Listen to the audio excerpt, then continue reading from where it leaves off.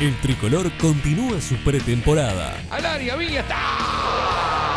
Esta vez se enfrenta ante el conjunto argentino Atlético Rafaela en un gran choque amistoso internacional.